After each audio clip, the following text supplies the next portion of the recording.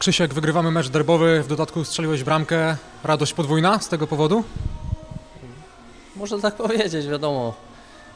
Yy, Strzelona bramka to zawsze jakieś, jakaś radość. Yy, Ja czekałem na swoją szansę, doczekałem się, jeszcze yy, strzeliłem gola, to na pewno ta radość jest podwójna, aczkolwiek cała drużyna pracowała na tą bramkę i, i myślę, że cała drużyna zasługuje na wielkie brawa, bo naprawdę to był ciężki mecz i cieszymy się podwójnie, że wygraliśmy go.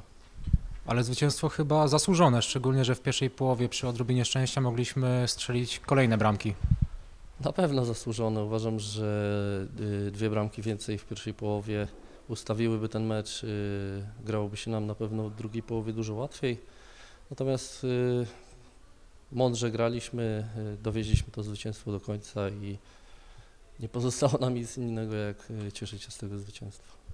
W końcówce GKS Katowice trochę nas przycisnął, byliśmy w małych opałach, ale, ale udało się dowieść to do końca, więc bra, brawa też dla gry defensywnej całego zespołu.